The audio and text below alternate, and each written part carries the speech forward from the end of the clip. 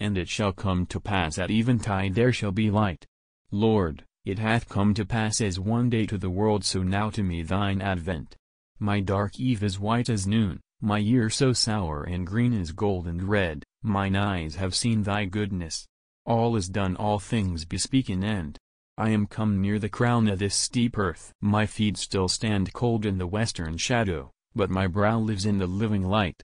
The toil is o'er, surely he giveth his beloved rest. I feel two worlds, one ends and one begins methinks I dwell in both, being much here, but more hereafter, even as when the nurse doth give the babe into the mother's arms, and she who hath not quite resigned, and she who hath not all received, support and twain the single burden, nevertheless the babe already tastes its mother. Lord, I come. Thy signs are in me.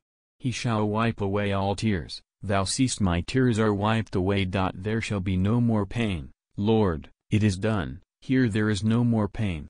The sun no more shall be their light by day, even so, Lord, I need no light of sun or moon. My heart is as a lamp of jasper, crystal clear, dark when thy light is out, but lit with thee the Sunday may be a suckling at this breast, and milk a nobler glory.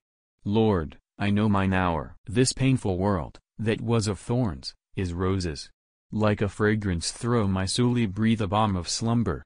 Let me sleep bring me my easy pillows, Marjorie I am asleep, this oak is soft, all things are rest, I sink as into bliss. O Lord, now lettest thou thy servant depart in peace,